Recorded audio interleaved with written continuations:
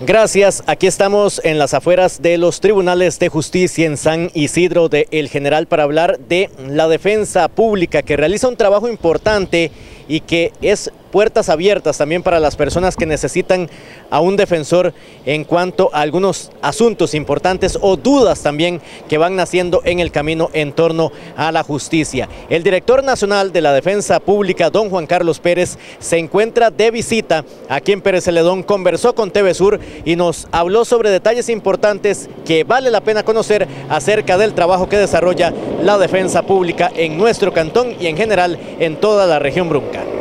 Una persona defensora pública es un abogado que el Estado proporciona de manera gratuita a aquellas personas que lo requieren o lo necesitan distintos tipos de procesos.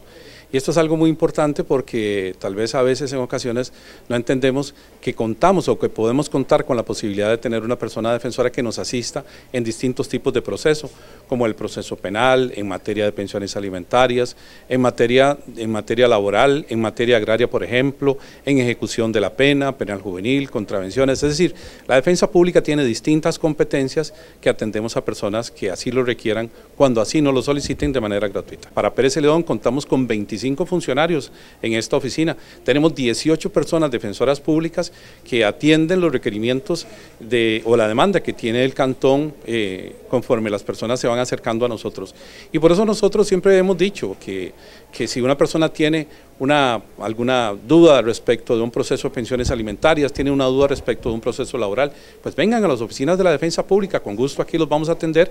Va a existir una persona, un profesional de muchísima trayectoria, de muy buena calidad, que les va a atender y les va a satisfacer las preguntas y los requerimientos que tengan. Don Juan Carlos, esas dudas recurrentes, me imagino que es un panorama muy a nivel nacional. ¿Cuáles son las más recurrentes? Bueno, a ver, en materia de pensiones alimentarias, por ejemplo, para citar algo, es en ocasiones, bueno, el tema de cuándo es que tengo derecho a pedir pensión alimentaria, cuándo es que procede los aumentos eh, automáticos, qué pasa cuando una persona no cumple con, con el deber alimentario, em, eso para poner un ejemplo. En materia laboral tenemos el caso de cuando la persona es despedida, entonces viene y acude ante nosotros para, para preguntar específicamente cómo, de qué manera puede hacer para presentar una acción o una demanda en contra del patrono o el expatrono que tenía. Usted lo mencionaba, es un tema de venir a las oficinas. Nada bueno, es un tema, tal vez para nosotros es muy importante que trascienda el tema y que las personas entiendan y comprendan que cuentan con un profesional en derecho al cual pueden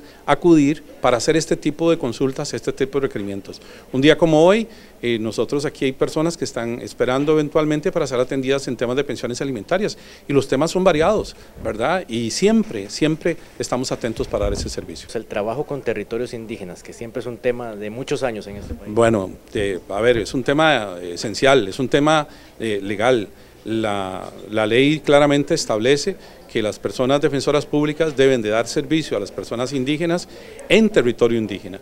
Y esto es esencial porque eh, nosotros hemos eh, justamente eh, procurado con los pocos recursos que tenemos, acudir a los distintos territorios y a partir de nuestra presencia ofrecer el servicio que da la defensa pública para las personas indígenas. Y en esto quiero destacar que en el caso particular de ellos pues, se les da tanto asistencia a las personas que son actoras como a las personas que son demandados en todas aquellas ah, acciones legales eh, de orden o de carácter jurisdiccional.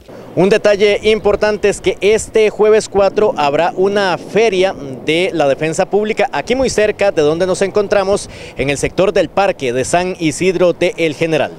4 de mayo en el bulevar, es decir, entre la catedral y el parque, vamos a estar, va a estar la defensa pública en asocios de otras entidades públicas y ahí vamos a dar un, eh, la idea de la feria es dar servicio a la comunidad.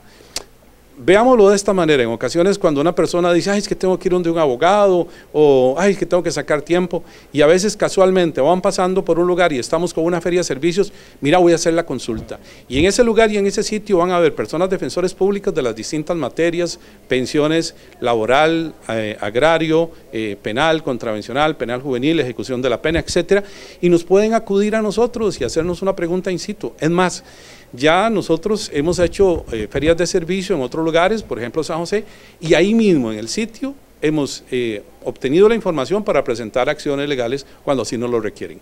Muy importante, como siempre, conocer detalles de la defensa pública. Ojalá que usted pueda aprovechar este servicio que se brinda también aquí en los tribunales de justicia, en el segundo piso del edificio de tribunales de justicia, aquí en Pérez Celedón. Trabajo en cámaras de Alan Cascanti y Johan García Gómez. Volvemos al set principal.